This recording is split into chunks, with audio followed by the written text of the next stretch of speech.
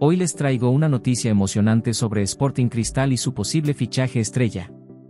Parece que el equipo está a punto de dar un golpe en el mercado al negociar con un delantero brasileño increíble. Estamos hablando de Derek Freitas Ribeiro, un talentoso jugador de 26 años actualmente en Guaraní FC de la Serie B de Brasil. De acuerdo con Transfermarkt, las negociaciones están en marcha y hay un 80% de probabilidades de que Derek se una a Sporting Cristal para la temporada 2024. Sin embargo, hay un pequeño problema, tiene contrato con Guaraní Fútbol Club hasta noviembre de 2025. Pero, aquí viene lo emocionante. Se está hablando de la posibilidad de un préstamo, lo que podría ser una gran jugada para los celestes mientras se preparan para la Copa Libertadores.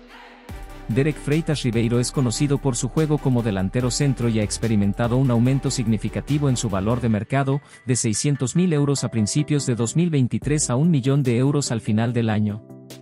Este zurdo de 26 años, con una altura de 1.85 metros, ha pasado la mayor parte de su carrera en clubes brasileños, pero también tuvo una breve aventura en el Metelist 1925 en la temporada 2022. Y ojo a su rendimiento en 2023. Aunque su equipo no logró el ascenso, Derek brilló con 10 goles en 38 partidos entre la Serie B y el Paulistao A1, además de dos asistencias y 2.778 minutos de juego.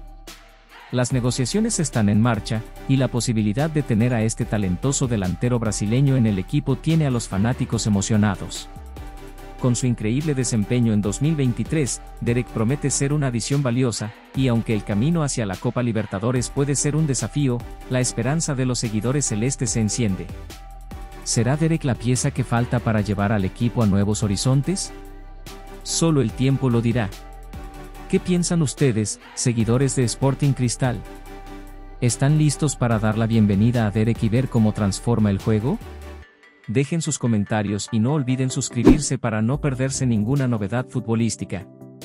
Hasta la próxima, amantes del deporte.